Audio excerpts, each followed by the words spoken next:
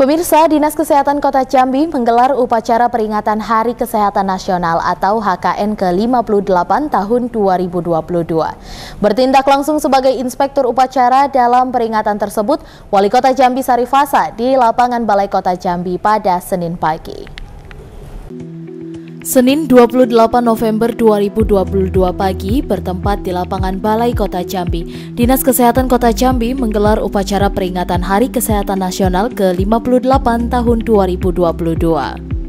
Bertindak langsung sebagai inspektur upacara dalam peringatan Hari Kesehatan Nasional ini, Wali Kota Jambi Sarifasa dan didampingi oleh Kepala Dinas Kesehatan Kota Jambi Ida Yuliati beserta Kepala OPD lainnya di lingkup pemerintah Kota Jambi. Dalam kegiatan ini, pemerintah Kota Jambi turut memberikan penghargaan kepada para tenaga kesehatan di lingkup pemerintah Kota Jambi ini. Penghargaan tersebut juga terdapat beberapa nominasi, di antaranya nominasi dokter teladan, perawat teladan, kesehatan masyarakat teladan, kesehatan lingkungan teladan, kefarmasian teladan, dan ahli teknologi laboratorium medik teladan. Wali Kota Jambi Sarifasa dalam kesempatan tersebut mengatakan bahwa pemerintah Kota Jambi mengucapkan terima kasih kepada para tenaga kesehatan yang ada di lingkup pemerintah Kota Jambi, di mana telah berhasil menciptakan lingkungan yang sehat dan menerapkan pola hidup bersih dan sehat di tengah masyarakat.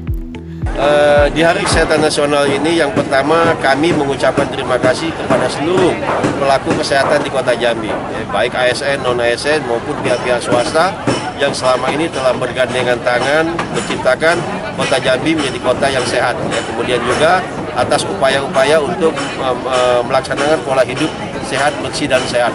Kemudian juga uh, kami mengingatkan kembali untuk tidak henti-hentinya melakukan pelayanan dengan senyum, sapa, dan sopan. Ya. Jadi jangan abaikan S3 itu karena itu adalah uh, filosof daripada filosofis daripada tenaga-tenaga kesehatan. Ya teruslah bekerja dengan baik layani masyarakat meskipun ada mas, ada beban apa pun apakah itu beban keluarga permasalahan keluarga tapi tetap layani masyarakat dengan sebaik-baiknya.